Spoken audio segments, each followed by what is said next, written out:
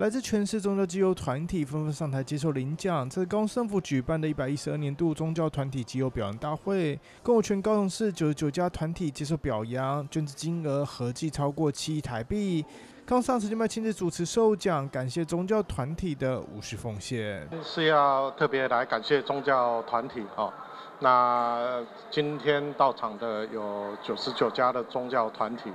那在啊去年一整年，好，啊捐书给各弱势团体及需要帮助的民众，啊总金额都超过一百万元以上，哈，那啊也达到啊将近八亿左右的规模，哈，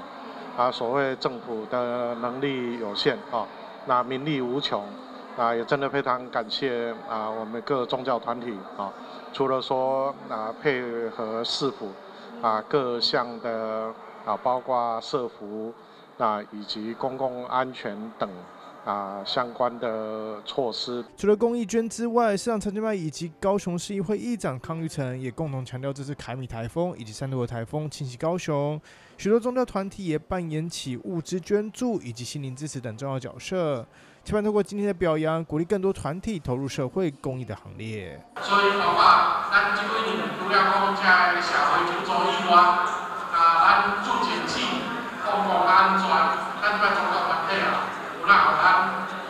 啊，在这对互咱记录足大足大的帮助吼。所以遮有哪个来再提出来向大家表示感谢，来拜托咱所有啊，咱这宗教团体吼，啊，不管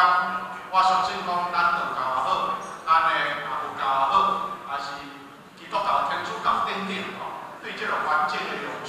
即摆大家大家嘛愈来愈重要，啊，所以啊，要人家甲大家拜托，哦，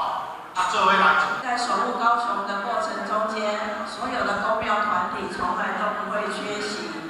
这一次的台风，我们就深深的体会到，政府的力量有限，但是我们民间可以帮政府做的事情更多。所以呢，矿的这些公庙也能够一起来协助我们整个灾后的重建。是否也期望各大宗教团体能一起推动低碳节食场所，为节能减碳尽一份心力，共同促进社会福祉？记者周队长报道。